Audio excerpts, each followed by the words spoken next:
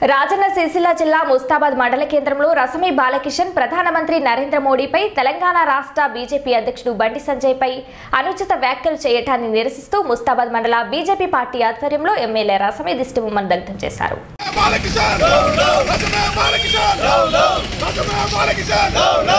ఖరీదైన ధర్నాలో రసమై బాలకిషన్ దొంగ దీక్షలో భాగంగా రసమై బాలకిషన్ మాట్లాడుతున్నాడు. భారత ప్రధాని దేశ ప్రధాని అదేవిధంగా గౌరవ పార్లమెంట్ సభ్యులను పట్టుకొని అనుచిత వ్యాఖ్యలు ఎట్లాంటి ఒక రోడ్ సైడ్ రోమియోలు కూడా మాట్లాడదు అటువంటి లాంగ్వేజ్లో మాట్లాడడాన్ని మేము తీవ్రంగా ఖండిస్తున్నాం. పెట్టుకోవడం మీరు మీరు సభ్యసం కాదు. ఈరోజు రైతులకు కూడా స్పష్టంగా కేంద్ర ప్రభుత్వం ఎఫ్సిఐ మీకు అన్ని రాష్ట్రాలకు కూడా ఒక నివేదిక ఇచ్చింది.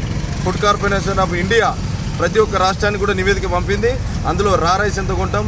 ఏది ఎంత కొంటాం దాన్ని ఎంత సేకరించుకుంటాం నివేదికలో మీరు తప్పుడు సమాచారం ఇచ్చారు. అభ్యంతరంగా వాటర్ తీసుకొచ్చి కూడేలితో మొదలుకొని నర్మాల మిడ్ బ్యానర్ ఇవన్నీ నింపుకొని ఇలా రైతులు కూడా ఎక్కువ పంటలు వేసి ఇలా మీరు అనుకున్న దానికంటే ఎక్కువ పంట వచ్చినప్పుడు కేంద్రం మీద నెట్టడం సరికాదు. రైతులందరూ కూడా గమనిస్తూ ఉన్నారు. అందరూ చైతన్యవంతులయ్యారు. ఒకప్పటి రోజులు కావు ఇవి. అన్నీ కూడా సోషల్ మీడియాలో మీ గుట్టంతా బయటపడుతుంది. ఛానళ్ళు కొన్ని పత్రిక ఛానళ్ళు మీకు అమ్ముడు పోయినప్పటికీ సోషల్ మీడియా ఈరోజు జెన్యున్గా యాడ్సప్ వంద శాతం పనిచేస్తుంది. కాబట్టి మీరు రాష్ట్ర ప్రజలను కానీ రైతులను కానీ తప్పుదో పట్టించుకోవాలనుకుంటే ఇప్పటికీ కూడా కేంద్ర ప్రభుత్వం రా రైస్ తీసుకుంటా అంటుంది. బాయిల్డ్ రైస్ విషయంలో మాత్రమే మాట్లాడుతున్నారు కానీ రా రైస్ తీసుకోవడం సిద్ధంగా ఉంది.